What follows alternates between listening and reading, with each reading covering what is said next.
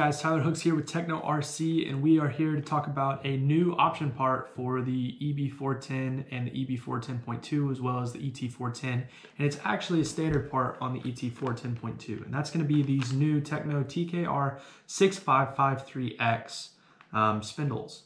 And these spindles, um, for the first time ever on any of our cars, give you the use of multiple different Ackermann plates. So right here, I have all four of these different Ackermann plates. They are 6669 A through D. And what these do is just basically give you different Ackermann options.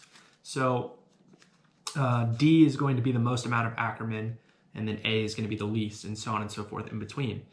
And basically, when you compare these to our original spindles that had the Ackermann built into the spindle itself, those had more Ackermann than D did.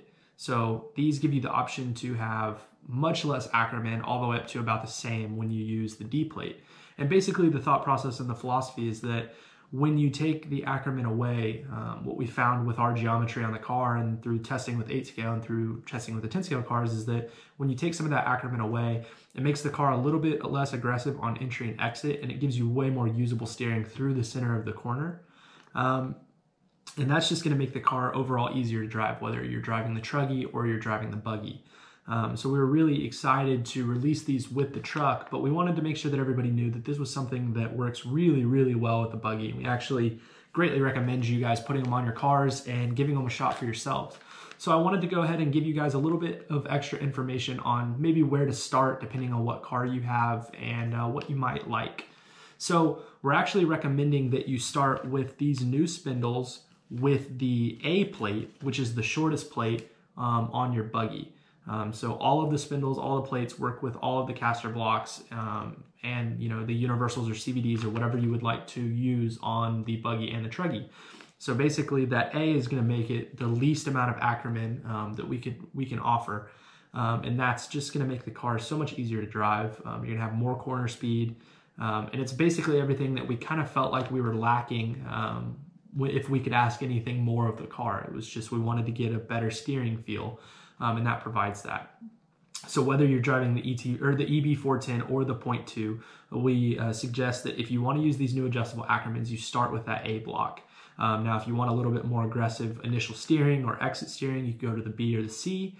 Um, and all of them, as we said before, are going to have less Ackermann than the original spindles.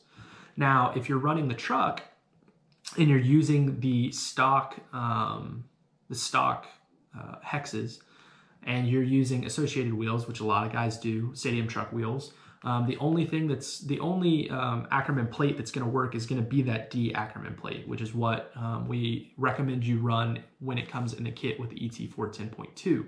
Now, if you would like to try some of those other plates to get that less Ackermann feel, you can go to a plus one hex um, on the front of the truck, and that's going going to give you the ability to use not only the C, but the B Ackermann plates.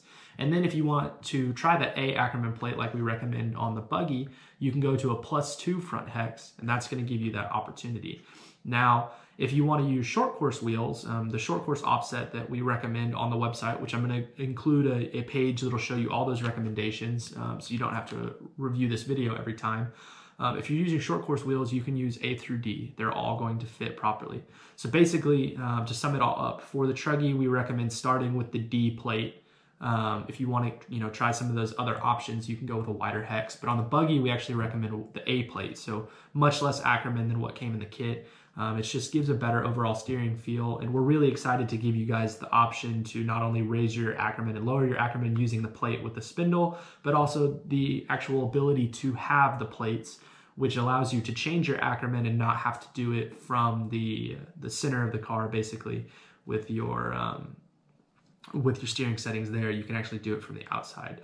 Um, the other thing that we're excited to release with that is the 18 degree caster block. So now not only do you have a 15 degree caster block option, but you have an 18 degree caster block option, which is gonna kind of increase that on power steering feel, uh, maybe take a little bit more of that twitchiness away.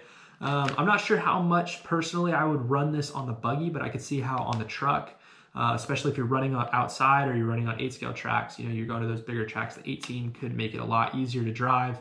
It's going to give the illusion of having more traction as well. Um, so a lot of times, you know, you know companies will sometimes release parts and things and uh, when you sit down and look at it you're like oh I, I don't know if i'm going to really be able to tell a difference. And we get it we totally understand but with this uh, setup whether you know it's the caster blocks or the new spindles and the plates it's going to be a pretty major difference. It's definitely going to be one that you can feel on the track and that you can see in your lap times.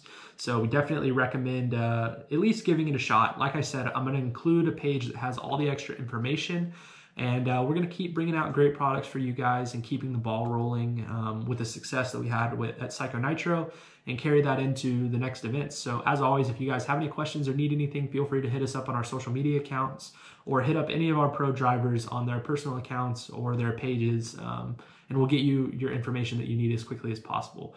Thank you guys for watching and tune in next time.